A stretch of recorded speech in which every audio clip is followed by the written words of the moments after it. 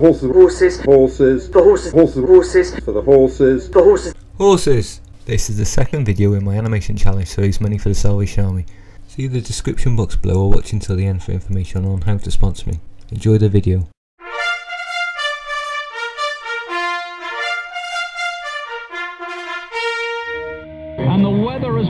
Up at the end of this most miserable of winters for this race. Absolutely, Mark. Yes, hearing that bell ring for the jockeys to mount has just made my heart tick a little bit faster, Mark, as the seconds tick down towards post time at 4.15.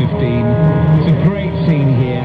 Right, wherever you look all over the track, there are flags, colourful dresses, smiling faces, all soaking up lovely Merseyside sunshine here this afternoon. Uh, someone told me today, you know, we spend our racing lives uh, up and down a pyramid, but we are right at the top of that pyramid today. Very, very few races matter as much as this one does, and I hope we have a race to savour in a few moments' time. We certainly do. There is so much anticipation around here at Aintree, and the first of the runners just starting to go down now, to leave the paddock, to go down to the start. A strong Welsh challenge this year, five runners, and keep talking about Teaforthree and Cappa Bleu, but two of them trained uh, here by uh, Peter Bowen. The 166th running of this great race, never before has a female rider won it, and here Katie Walsh has just about the best chance ever to, to put that right for the fairest sex. It's a Seabass is now 11 to 2 favourite. Favourite this morning at 12 to 1. That price has tumbled to 11 to 2. 8 to 1 on his own. 10 to 1 at Teaforthree. 11 to 1 Chicago Grey and Imperial Commander. They're edging towards the tape now for the 2013 Grand National. Will we get a first-time start here? The crowd aware of it.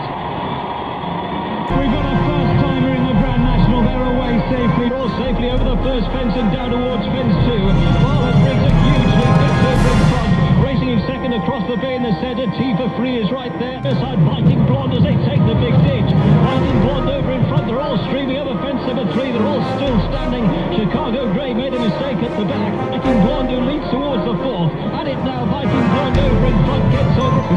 Number five it's chemistry up towards the front with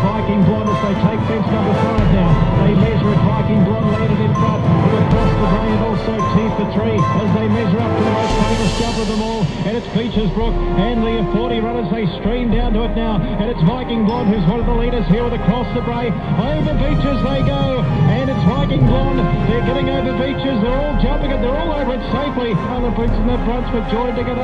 They go now to the canal turn. They turn left-handed. And across the bay is going to lead from Balthazar King. Further back in Oscar time and uh, being followed by Solomon Kellisbury. They race down towards Valentine's now. Hunters come down at the canal turn. There's another one gone towards the back of the field. It may well have been Treacle. The leaders are going over Valentine's. And Balthazar King it is who leads the way. They move on towards the next. It's fence number 11, a big open ditch. And just in front there across the bay from Balthazar King, jumping up well into third was Soll. They're followed over in fourth place by Oscar Time.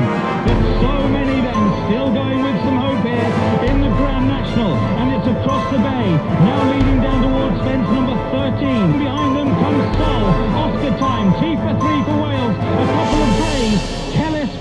Swing Bill next. They're followed by Imperial Commander. Katie Walsh riding behind them on Sea Seabass as they come now towards the chair for the one and only time. Soll made a bad mistake. The crowd really rear there. And Colbert Station's down. Tony McCoy falls in the chair. He's out of the race. They now head over towards the water jump. And it's Balthazar King from across the bay. They lead from behind them. Oscar time. Teaforthree. Over fence 17. They towards the near side. Put in a big leap. Balthazar King is still right there. So is Teaforthree. On his own. He's stalking them for Ruby Walsh just in behind. Oscar time is still prominent as well. And making time behind that is Tarquinius as they get over the next fence. They're heading off towards the fence before Becher's for the second time. And it's across the bay. He leads the Grand National. The one before Becher's they go. He's right up towards the front. Tarquinius the Grey's not too far away. And T for three is there. We're joined together. Still Seabass for Katie Walsh in about sixth or seventh position. Bad mistake by Chicago Grey at the canal turn. He looks well out of contention as the leaders clear Valentine's. Little change of the order. On his own is gone. On his own out of the race there at Valentine's as they clear four out across the bay. The leader from Oscar Time jumping in in second. Auroras Encore just past for third now by T for three. Then Cappa Bleu is creeping closer. Soll on the inside. Swing Bill is next, one of the greys with Balthazar King has dropped back. Seabass still has a small chance, followed over that one by Tarquinius. And then Rare Bob who's getting closer, and they've gone away now from Mumbles Head and Saint Are as they head across the Melling Road for the final time in the National. Mr. Moonshine's been pulled up. Any currency is miles behind, and Sunnyhill Boy will need to put in a miracle run. It is Oscar Time, runner-up two years ago, who leads from Teaforthree in second place. Auroras Encore at a massive price is in behind him in third place. Cappa Bleu in behind those in fourth and trying to plug on. So too in behind them is Seabass.